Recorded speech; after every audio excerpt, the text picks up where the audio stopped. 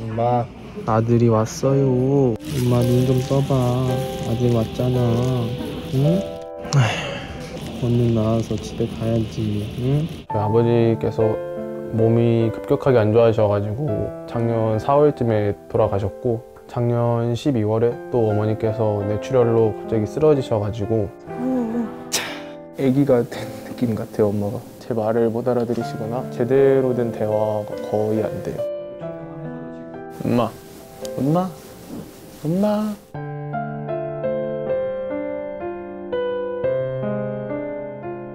월세랑 뭐 병원비랑 뭐 아버지 카드빚 그런 것들을 제가 다 감당해 나가고 있기 때문에 고깃집 알바랑 학원 알바, 택배 상하차 알바, 건설 현장 알바 한평생을 저를 위해서 살아오신 어머니를 위해서 챙겨드리고 제 곁에 좀 남아 계셨으면 좋겠어요.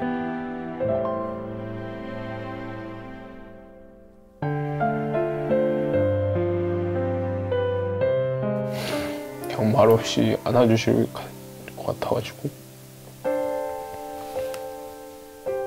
이게 현실이라는 게 제 생각대로 안 된다는 걸 뼈저리게 몸소 느끼고 있고 그렇게 버티고 있어요.